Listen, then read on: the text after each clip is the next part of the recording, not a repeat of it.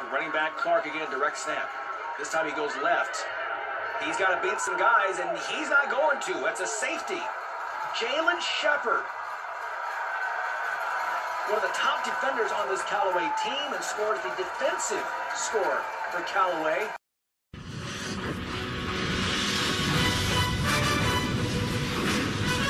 For the touchdown, Coleman, he's got some space on the run. One man to beat it, he does. Touchdown, Demetrius Coleman. Takemius Wallace, number 21, with the dive to try to keep him from it. But Coleman gets in for the touchdown. Four yards on the scamper. And what a turn of events here. Davis in at quarterback, rolling left and throwing right. Downfield. And that's picked off. Smith with his second interception of the game. Cameron Smith, he's still on his feet. There was a flag down. Still going. Finally knocked out about the 25-yard line.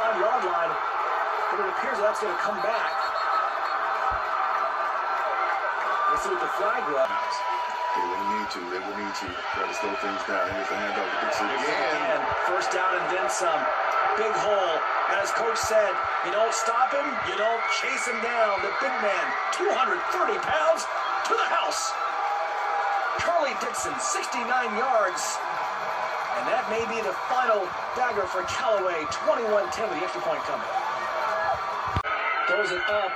Might have been even past the line of scrimmage, and it's picked off by Jalen Shepard. And that's how the game's going to end. There it is. Callaway champions for the first time. Now they can celebrate.